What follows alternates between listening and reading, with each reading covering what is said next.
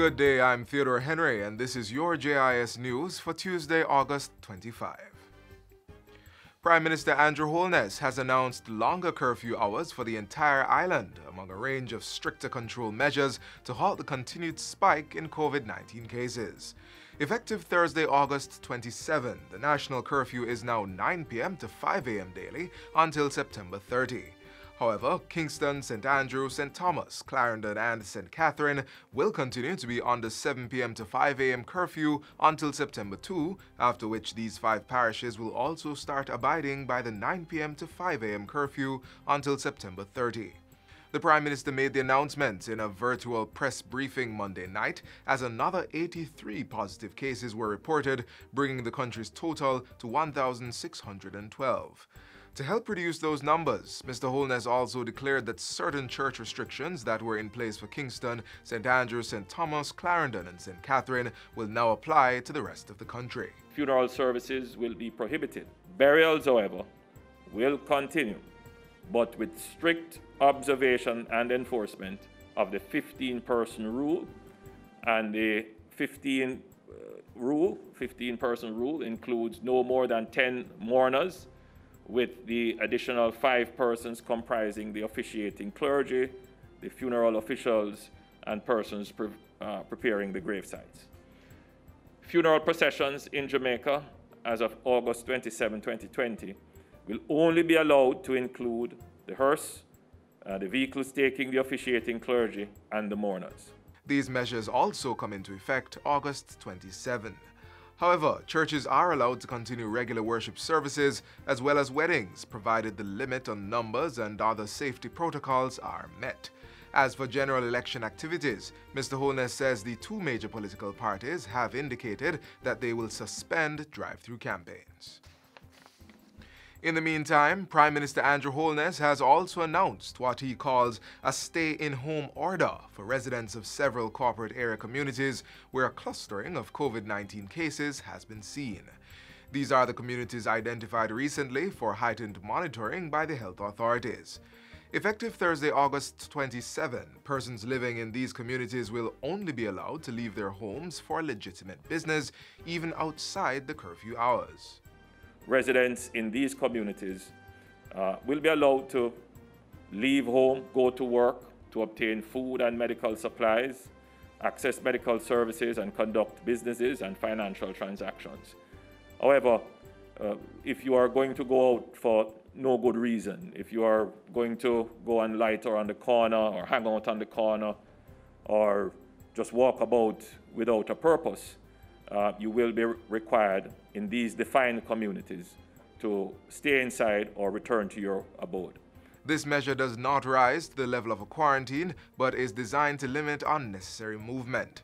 Persons in these and other areas are also being discouraged from interacting with others not in their immediate households.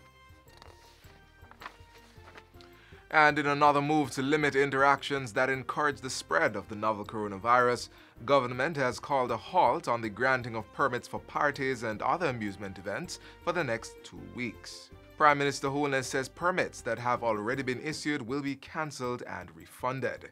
He says this is necessary as the surge in positive COVID-19 numbers have been linked to parties, church conventions, funerals, and other such activities where persons are converged. Try as they may have, and some may have actually tried.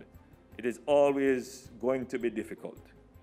Uh, merriment and partying are not consistent with the conscious behavior that is necessary to stay safe from COVID 19.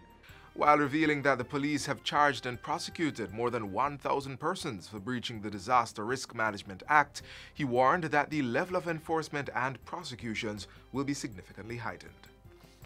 In other COVID-related news, government will be providing financial assistance to teachers in the private sector who are affected by the pandemic.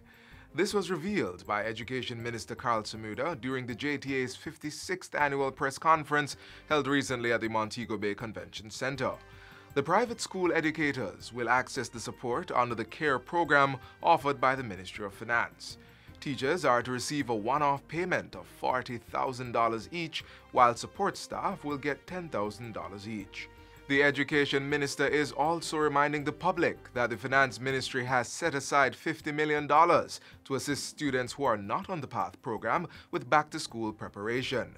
The phased reopening of the 2020 2021 academic year is scheduled for October 5. Meanwhile, a new infant department has been officially opened at the Wakefield Primary School in St. Catherine just in time for the new academic year. Ground was broken for the construction in July 2019. Minister of Health and Member of Parliament for the area, Dr. Christopher Tufton, opened the department a few days ago.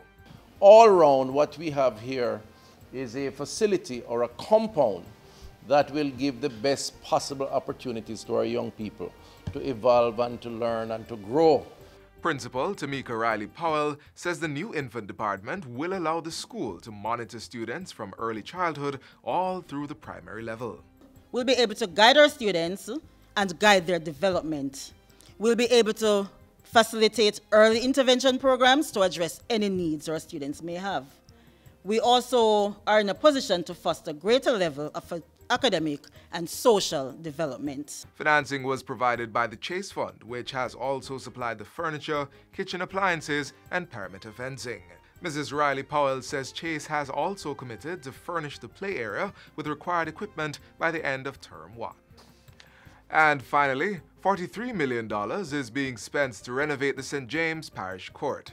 The renovations, which is expected to last four months, will include tiling, painting, plumbing, electrical installations, and a ramp being built to allow wheelchair access for the elderly and disabled. Justice Minister Delroy Chuck says this is part of the ministry's ongoing renovations and maintenance of courts to enhance the built environment for the delivery of justice services. Approximately $652.5 million is being spent to renovate justice sector infrastructure this financial year, including continued refurbishment of the Office of the Director of Public Prosecutions and the Manchester Parish Court. And that's it for JIS News today. I'm Theodore Henry. Thanks for watching.